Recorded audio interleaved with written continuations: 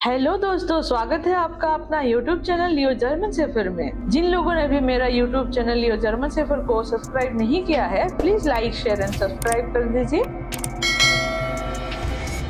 Hello everyone ज़्यादा देर ना करते हुए आज का वीडियो स्टार्ट करते हैं। आज लियो के पापा लियो को तौलिए से पोच रहे हैं। लास्ट वीडियो में मैं आप लोगों को दिखा नहीं पाई थी कि लियो को नहाने के बाद हम लोग कैसे केयर करते हैं।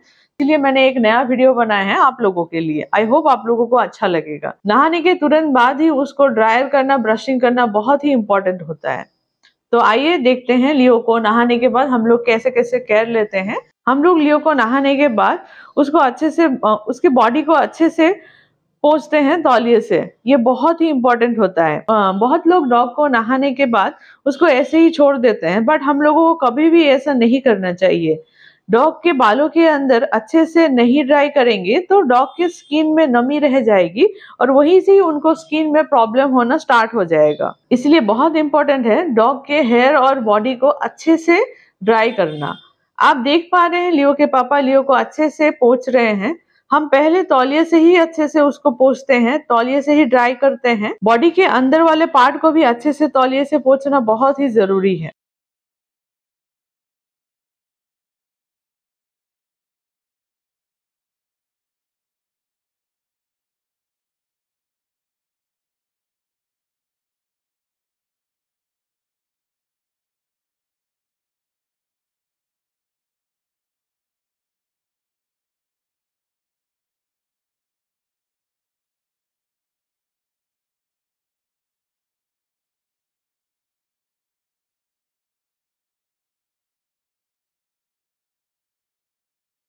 लियो को भी अच्छा लग रहा है। कितना प्यारा लग रहा है लियो। लियो के नहाने के बाद कम से कम 20 मिनट लगता है उसको तौलिए से ड्राई करने के लिए। मैं वीडियो में इतना तो आपको नहीं दिखा रही हूँ, क्योंकि वीडियो बहुत ही लंबा हो जाएगा।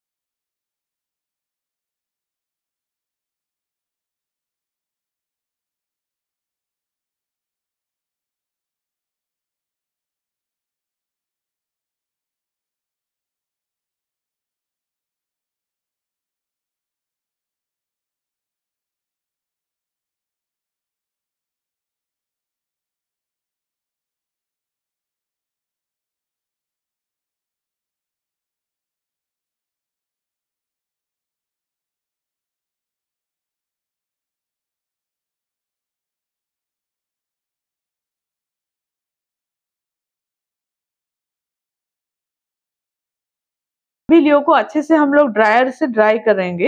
लियो को बिल्कुल भी अच्छा नहीं लगता है ड्रायर से ड्राई करना क्योंकि उसको उसका साउंड बिल्कुल पसंद नहीं आता है। वो बहुत इरिटेट हो जाता है बट उसके बॉडी को सुखाने के लिए हमें ड्रायर यूज़ करना पड़ता है। हम लोग लियो को नॉर्मल ड्रायर से ही ड्राई कर रहे हैं आप प्रोफेशनल ड्रायर भी यूज़ कर सकते हैं।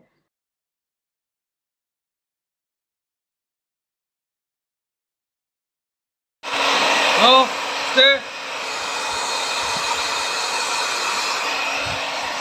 ¿Sí o no?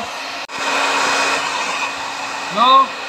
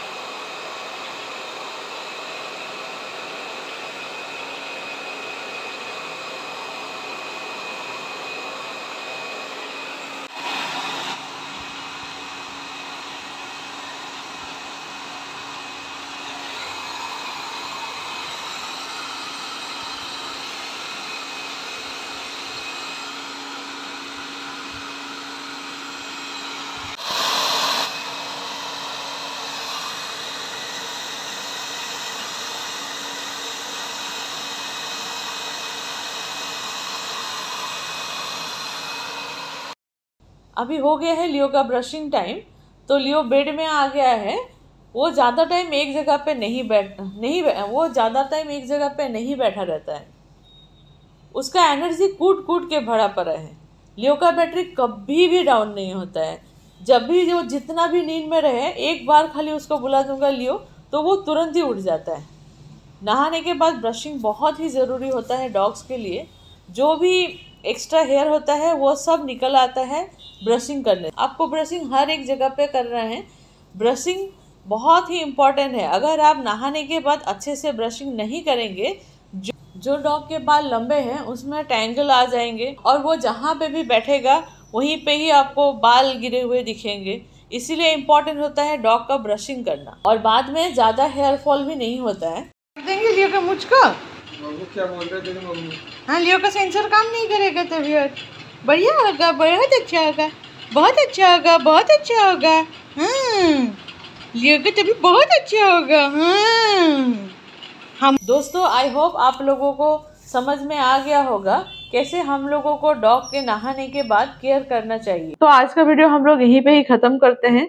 अगर आप पहली बार मेरे चैनल को देख रहे हैं तो please like share and subscribe कर दीजिए। ताकि मेरे आने वाले नए नए वीडियोस को आप लोग देख पाएँ।